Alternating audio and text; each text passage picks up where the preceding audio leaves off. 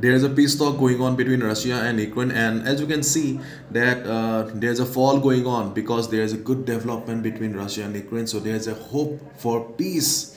So if any news comes out regarding the peace, then we may see some huge drop in the price of gold. So be careful. And um, as I said in the morning, that 1895 is the most important level. So if there's a positive outcome from outcome from the um, meeting that yes it will see a huge fall in the market. So be careful and use proper stop loss and risk management